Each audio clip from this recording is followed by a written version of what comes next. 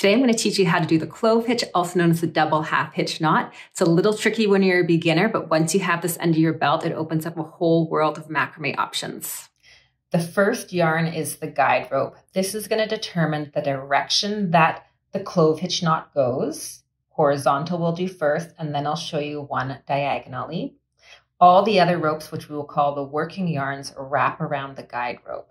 So we'll take the guide rope, hold it the direction you want to go, you want to take the working yarn, so the one directly to the right of the guide rope. It comes behind the guide rope. Then you're going to pull it over and then through the opening. So I'll kind of trace the pattern here. So this one in my right hand is the guide rope. So the working yarn comes around, up behind, over the guide rope, and then through that hole. And then you pull it snug, holding your guide rope horizontally pull that nice and snug. You take that working yarn again and you put it over the guide rope, around the back, and through the opening. See the, the working yarn, it's coming around in front of the guide rope and then through the opening. And then hold the guide rope horizontal and pull that tight. We'll go to the next yarn. So it's coming from behind. You pull it over the guide rope.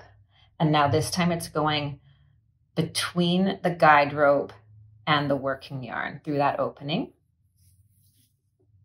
So it's coming from behind, over, around, and through. Pull that snug. You always do it twice for each working yarn for the clove hitch. So it's going to go over the guide rope, around the back, and through the opening.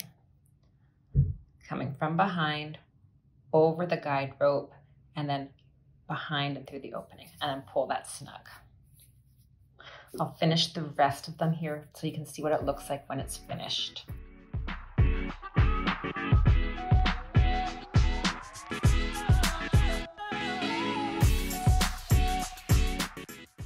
Now I'll show you this in a diagonal format. So again, we'll use the left rope and we're going to hold it diagonally because that's the direction that we want the clove hitches, or you can also call them double half hitches. That's the way we want them to go. Hold your guide rope the direction you want. Take your working yarn, which is the first one over, and again, you go over the guide rope, around behind and through the opening. And then hold, always pull it nice and snug.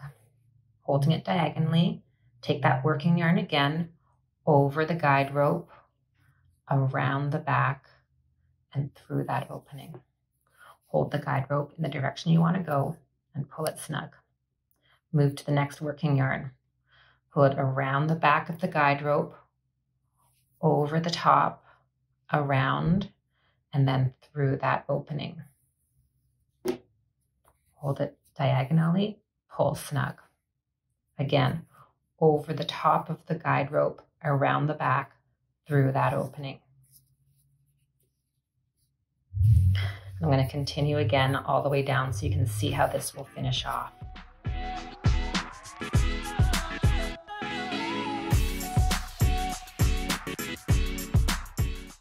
This knot takes a little bit of practice, but you will get it 100%. I so encourage you to learn this knot because it really gives you this whole new world of macrame and all these really nice patterns you can make with this knot.